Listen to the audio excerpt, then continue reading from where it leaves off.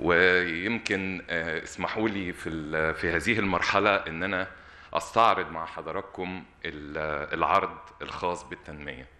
الحقيقة سينا بالنسبة للمصريين دائما هي انطباعنا إنها يعني في قلب كل مصري هو مكانة كبيرة جدا وعزيزة وهي مفتاح موقع مصر العبقري في قلب العالم بقاراته وحضاراته وهي البقعة الوحيدة على الكرة الأرضية اللي تجلى فيها ربنا بوجهه الكريم سبحانه وتعالى في المنطقة المقدسة طبعا آه، الطور. ولكن يمكن ده انطباعنا على مصر أو انطباع كل المصريين عن سينا. طب إيه هو انطباع العالم عن سيناء؟ بمعنى ما هي صورة سيناء النهاردة قدام العالم؟ والحقيقة يمكن الموضوع ده في ال- ال slide اللي بعده الحقيقة إحنا يا فندم استعنا بالحقيقة أحدث برامج الذكاء الاصطناعي.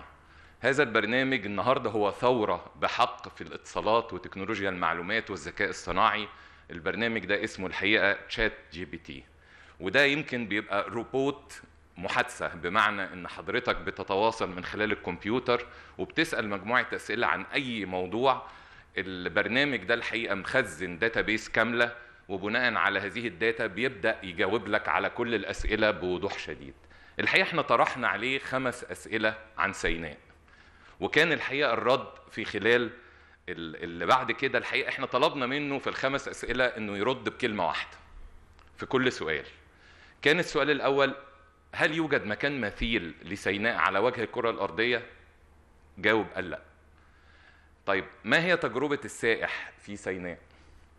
الحقيقة قال كلمة تأخذ الأنفاس.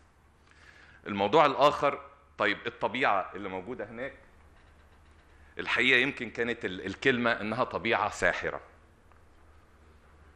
لكن لما جينا نوصف له ونقول له طب صف سينا نفسها بكلمة واحدة قال كلمة صحراء